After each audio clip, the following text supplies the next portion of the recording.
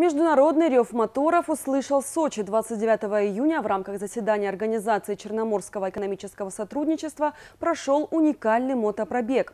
Его участниками стали самые известные спортсмены страны, представители 12 стран Причерноморья и Южных Балкан, а также заместитель министра иностранных дел Российской Федерации Василий Небензи и генеральный секретарь экономического сотрудничества Майкл Христидис.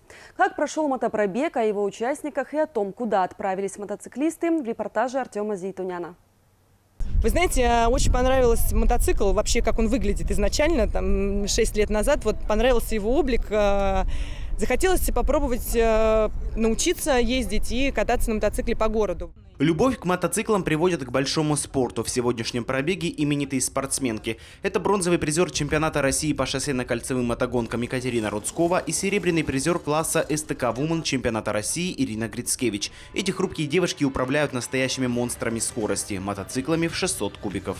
Нужно усилие, терпение, хороший тренер и хорошая физическая подготовка. Но и в спорт, собственно, попала после того, как поняла, что не смогу ездить по городу, но очень нравятся спортивные мотоциклы, и решила заняться заниматься шоссейно-кольцевыми мотогонками.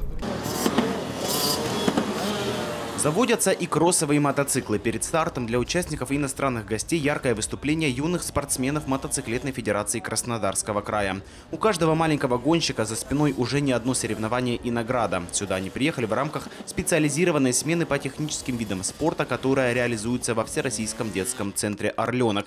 Там на базе лагеря дети узнают о технике, ее видах и особенностях. Пилот это лагерь технических видов спорта. Э, этот лагерь новый, его открыли совершенно недавно. Этот э, потрясающий лагерь, я считаю, что он сейчас на данный момент самый развитый, самый лучший. Конечно, есть стремиться к чему лучшему, но он сейчас на данный момент на высоте. Либо цепляется руками, или газует.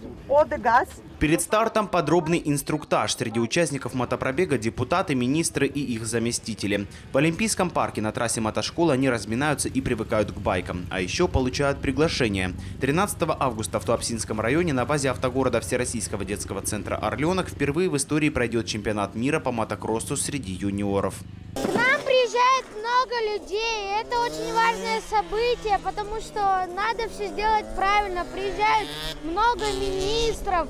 Это вообще замечательно, что дети занимаются, занимаются мотокроссом. Вообще мотоцикл – прекрасный вид спорта. А, о нем, конечно, много, много, поскольку у нас он не развит, о нем э, принято считать, что, что он очень опасный, но не опаснее многих других. А то, что дети начинают такого заниматься этим, это очень здорово.